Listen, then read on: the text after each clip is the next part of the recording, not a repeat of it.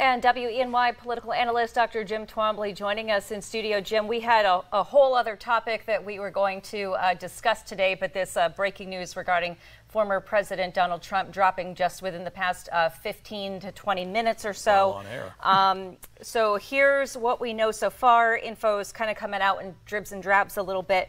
Uh, the former president has been charged by the Justice Department for his efforts to overturn the results of the 2020 election. This is the uh, indictment that I think a lot of people expected, but now we're actually getting a look at what those charges are.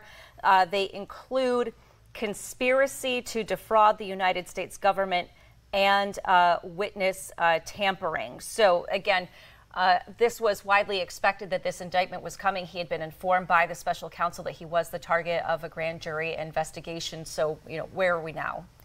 Well, we are where we were before. I would imagine that, uh, kind of tongue in cheek here, his donations are going to go up. His support among his core in the Republican Party is going to solidify and increase. Uh, but these are very serious charges. Um, yes, the Mar-a-Lago charges are important. They uh, bump up against national security. And then we've got, uh, we've got the issue of obstruction of justice there. But here we're talking about an attempted coup, uh, an attempted insurrection. Um, the, uh, I've just been skimming through the charges. This is, again, an indictment that many have referred to as a talking or speaking indictment, where they're using the timeline of what happened on the morning of January 6th, detailing the things that Donald Trump said. Uh, there's even a reference to co conspirator number two, who I think from this is John Eastman uh, and what he said, uh, what they were directing the crowd to do that day.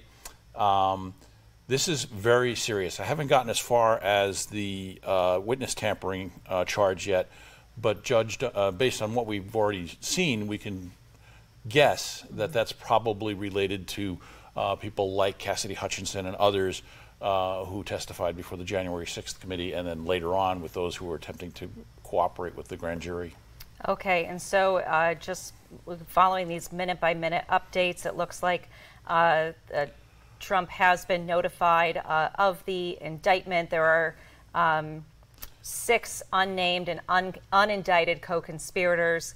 Uh, and it looks like the president is expected, former president rather, is expected to be in court uh, on Thursday, Thursday yes, the August, arraignment. August Yep. 3rd. Um, so, like you said, Jim, I, I, for his supporters, this doesn't seem like it's going to particularly sway them in any way, but rather uh, uh, bolster even even more support Right, for which is what we've seen every time that there's been an indictment or some other uh, kind of allegation against him. His support seems to solidify. Uh, this will probably continue that trend. Okay, well, Jim, we are going to continue to follow the developments. Again, this this information is just coming out uh, little by little a- as we speak, so we will continue to follow these updates both on air and online. But thanks for helping us just make some sense of what we know right now. My pleasure.